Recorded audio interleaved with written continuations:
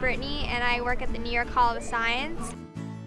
Basically what I do is that I interact with many children here and I explain different exhibits.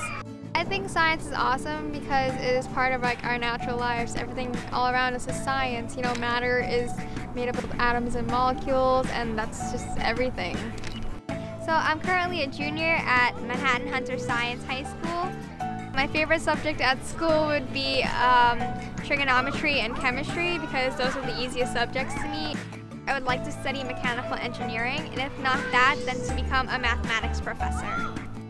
The New York Hall of Science helped me figure out that I wanted to become a mechanical engineer because I went to a career fair with the New York Hall of Science, and at that career fair, I saw different engineers and professors, and they told me what they did and what they studied, and I thought that it was really interesting, so I wanted to pursue that.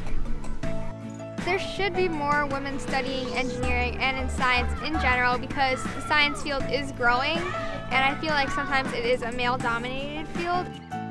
So that's what kind of inspired me to become a woman in science because I want to make a difference to other girls and make them feel like they can be a part of science as well.